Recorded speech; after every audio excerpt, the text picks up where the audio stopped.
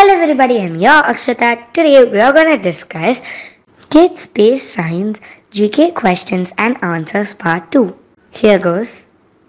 Which is the smallest planet in our solar system? Mercury. Which is the coldest planet of our solar system? Uranus. Which planet has no moons? Venus and Mercury. In which planet sun rises in west and sets in east? Venus. It rotates on its axis in a direction that the opposite of the most planets. How many moons does Mars have?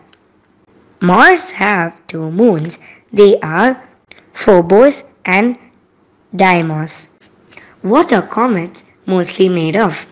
Comets are mostly made of snow, ice and dust. Where is asteroid belt? It is a region of our solar system between the orbits of Mars and Jupiter. What element makes up the Sun? Hydrogen. Which is the hottest planet in the solar system? Venus. What is the orbital period of Moon? 27.3 days. Which planet has most moons? Jupiter. Which part of sun that we can see? Photosphere. Where is Vikram Sarabhai Space Center situated? Thiruvananthapuram. Who is current CEO of ISRO? K. Sivan. Which country has highest satellites in space? USA. Which company in the world has more satellites in orbit? SpaceX. Expand NASA. National Aeronautics and Space Administration. How long does it take for the Earth to rotate on its own axis? 23 hours and 56 minutes. Which planet is called green planet? Uranus. It appears greenish in color because of large amount of methane gas present in it, which is second largest planet in solar system. Saturn. What is the most accepted theory for origin and evolution of the universe? The Big Bang theory.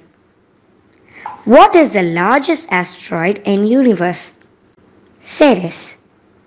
What is the name of the most popular space telescope? Hubble telescope. What is the farthest planet from the sun? Neptune. What is the color of the youngest stars? Blue. When is the red planet day? 28th November. In which year Pluto was declared as dwarf planet? 2006.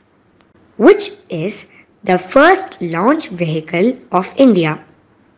Satellite Launch Vehicle 3 SLV 3. What was Chandrayaan 1? First Indian lunar probe. Chandra means moon and Yaan means vehicle. Which was the first educational satellite of India? EDU SAT, which is also known as GSAT 3. Thank you all for watching. I hope you enjoyed the video.